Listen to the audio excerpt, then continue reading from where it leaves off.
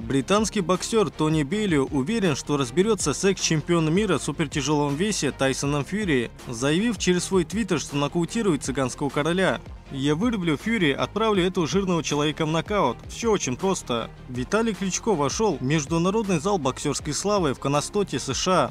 Кличко-старший стал первым украинцем, который удостоился этой чести. Кроме Виталия, в Международный зал боксерской славы также попали Эрик Моралес и Рональд Райт. После Виталий Кличко поблагодарил болельщиков за поддержку, а также выразил надежду, что его младший брат Владимир также в скором времени станет частью Международной зала боксерской славы. Я назвал бы это сказкой, о которой даже не мечтал. Есть миллионы боксеров, тысячи чемпионов мира, но быть одной из легенд вместе с легендами – это может быть только сказкой. Okay. В истории такого не было, что два брата одновременно становятся чемпионами мира, собирают все пояса, которые есть. Я уже говорил, что Владимир постоянно наступает мне на пятки, и какие бы я звания не получал, брат всегда рядом со мной. Сегодня я удостоился чести быть включенным в международный зал и музей боксерской славы, но я уверен, что в скором времени Владимир также станет его частью. Я благодарен тем людям, которые меня поддерживали и в жизни, и в спорте, и в политике. Сам бы я не смог этого достичь. Тебе нужна команда.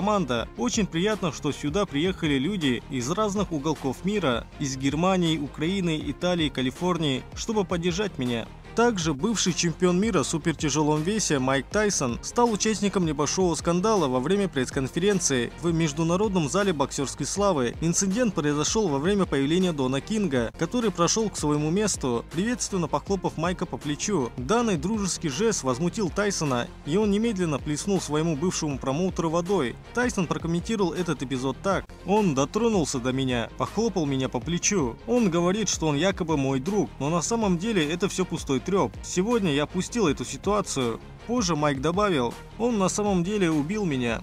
Чемпион WBO в полусреднем весе Теренс Кроуфорд уверен, что бой против обладателя пояса IBF Эрла Спенса состоится несмотря на то, что у обоих боксеров контракты с разными каналами. Слова американца приводит ESPN. С точки зрения бизнеса такой бой имеет смысл. Промоутер Спенса не будет отправлять своих боксеров на ESPN. Арум не отправит меня на Showtime, если это нецелесообразно. Думаю, если бой выгоден, то он состоится. Журналист Майкл Монтера прокомментировал решение команды Геннадия Головкина проигнорировать обязательную защиту титула IBF Сергеем Деревяченко.